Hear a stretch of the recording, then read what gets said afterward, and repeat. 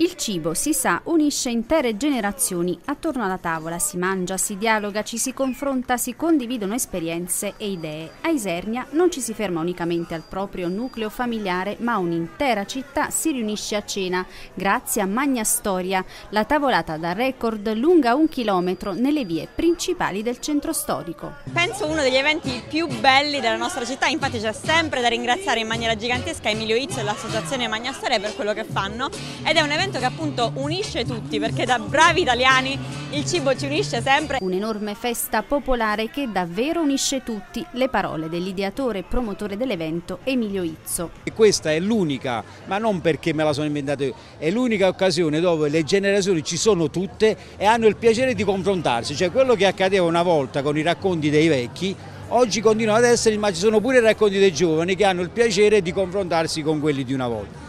Una piacevole serata trascorsa in compagnia fino a tarda ora, una tavolata che ha radunato migliaia di persone tutte impegnate a mangiare, bere, cantare e ballare. Beh, abbiamo preparato un po' di tutto, pasta al forno, frittata, abbiamo un sacco di cose da mangiare, davvero tante. Abbiamo preparato qualche antipasto, eh, pizza al pomodoro, delle frittatine e del rustico.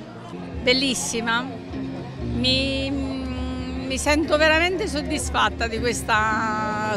rivedo gli amici dopo tanto tempo e quindi sono contenta.